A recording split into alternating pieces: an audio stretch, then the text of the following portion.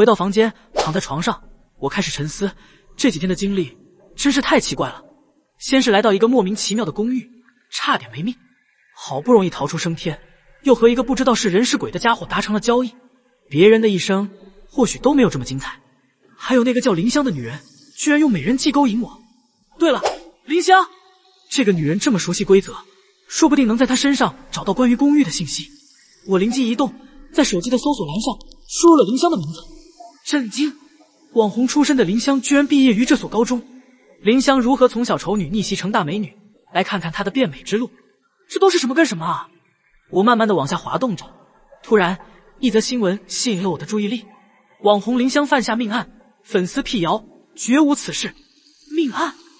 我仔细的阅读着这篇内容，原来是她上高中的时候霸凌过一位名叫江婉同学，间接的造成了这位同学的死亡。看着新闻贴图那位受害人的照片，我总觉得自己在哪见过，在哪呢？一道灵光乍现，我按下了手机返回键。对了，就是这个。我的目光落在了桌面壁纸上，左边的人居然和贴图上受害人的模样基本一致，而他的身边站着的正是给我手机的女孩。这些线索犹如丝线般串联了起来，仿佛揭开了一个巨大的阴谋。林香害死了江婉，江婉和女孩又是朋友，也就是说，女孩和林香早就认识。如果新闻内容是真的话，同时也证明他们俩是仇人。难道说？这就是女孩来到这所公寓的理由，是这样吗？明明一切都能说得通，可我总觉得还差些什么。房间的灯忽然暗了下来，墙上闹钟的指针正好落在了十二的位置。任务时间到了，我壮着胆子走在黑漆漆的走廊，一眼望不到尽头。我走得很慢，一遍遍的重复着“不要回头”四个大字。好人，一个女孩的声音在我身后响起：“你走这么快干嘛啊？”是林香的声音。我定在了原地，他快步赶了上来。周围太暗了，我什么也看不清。任务上只说不让回头，又没说不许结伴而行，你这么紧张干嘛？我默默低下了头，不去接他的话茬。这女人是怎么回事？偷了我的手机，还在我面前理直气壮的站着，真当我没脾气吗？哎呀，你干嘛不理我呢？他握住了我的手，对我撒娇。当然是因为你不是啥好人。我刚要回答他。旁边的门被打开，走出了另外一个林香。本就阴暗潮湿的走廊，在此刻变得更加恐怖。我下意识打了个冷战。奇怪的是，林香并没有注意到我身后的人，她只把注意力放在了我的身上。哎呀，你个小壁灯，盯着我干嘛？我脸上有东西吗？我吞了吞口水，用手指了指后面。就在此时，一只手搭在了我的肩膀上，压得我喘不过气来。我僵在了原地。寒意顺着脊椎涌上了大脑，很显然，林香看见了。微弱的灯光下，只见他的瞳孔逐渐缩小。下一秒，他慢慢举起了手，食指颤抖着，似乎想要说些什么，可他实在是太害怕了，一个字也说不出来。你后面！趁着他张嘴的瞬间，我拽住了他的手臂，拼命的向前跑着，企图甩开身后的人。二楼的走廊松垮又破旧，我每走一步就会传来一阵咚咚的响声。一声声落下，如同我心脏的节拍。也不知跑了多久，终于来到了楼梯尽头。在得到一点微弱的光亮后，我毫不犹豫地推开了门，冲向了一楼大堂。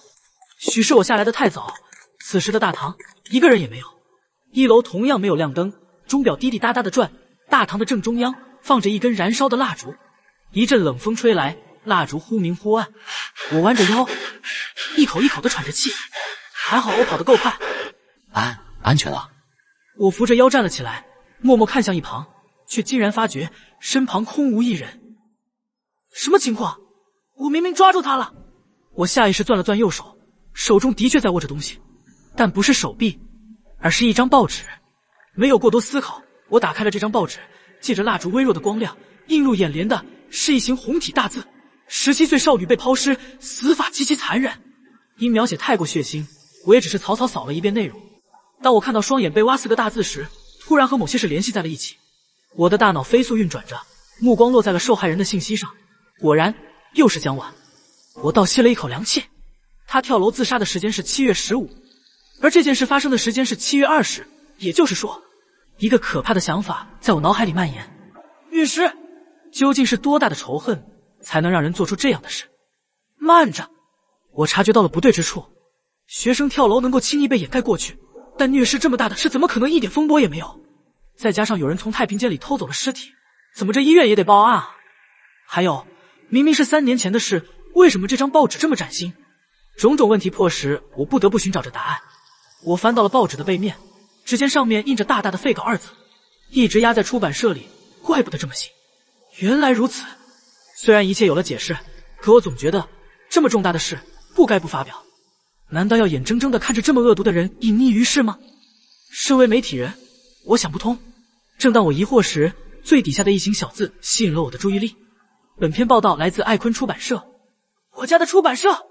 我不可思议的睁大了眼睛，又确认了一遍。可惜，我并没有看错。悲哀的烛火在黑夜里摇曳着，好像是这个世界上唯一剩下的光。一切的一切，仿佛都在这一刻落下了帷幕。喂，声音将我拉回了现实。我顺着声音向楼梯口看去，是那个给我手机的女孩，她的身边还站着一位阿姨。见我仍有点发怵，女孩快步走到我的面前，小声的问了一句：“你拿到了什么？”我觉得现在并不是说出这件事的时机，所以下意识将报纸藏在了口袋里，尴尬的朝她笑了笑。没，没什么。她眯起了眼睛，自上而下的打量起了我，显然是不太相信。见形势不对，我忙岔开了话题。对了，你有没有看见林香？刚才我们一起下来的。你，你说什么？那个阿姨在听到这个名字的时候，显然变得慌张起来。林林香也在这个公寓。